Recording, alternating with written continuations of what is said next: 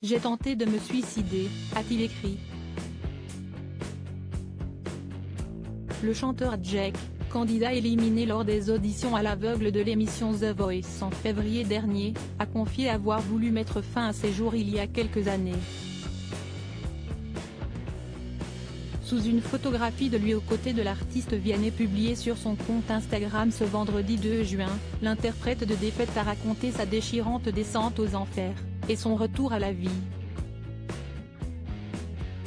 Le Niçois y a expliqué les raisons, un chagrin d'amour.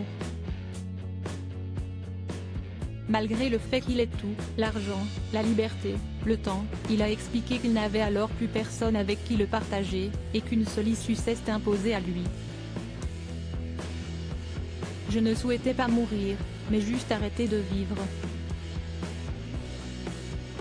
J'ai alors décidé de prendre ma voiture et me diriger droit vers le fossé. A-t-il confessé Avant d'être happé par un élément venu tout bouleverser. Le passage de la chanson Je vais, de Vianney sur la radio de sa voiture. Le jeune homme a confié que le titre est venu résonner en lui, juste avant le saut fatal. Je suis rentré pour jouer cette musique durant des heures. Cette musique a été mon remède et son auteur, une source d'inspiration. Contre toute attente, si esti cette terrible expérience qu'il a lancée dans l'aventure de la musique, et dans celle de The Voice au mois de février dernier, alors qu'il n'y connaissait rien la scène est devenue ma nouvelle maison depuis cette sombre période.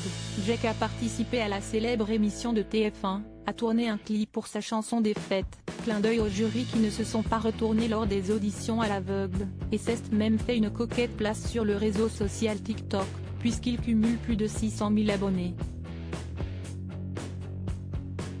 Le sudiste a d'ailleurs expliqué que la scène est devenue sa nouvelle maison bien qu'il n'ait pas été spécialement doué.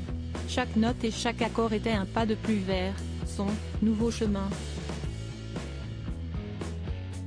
Désormais, il vit du chant et il est soutenu par une armée de gens bienveillants.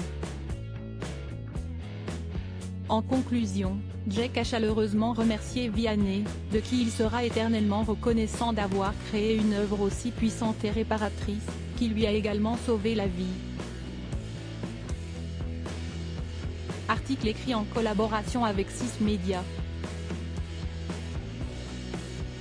Crédit photo, Sandrine Tésia Panoramique.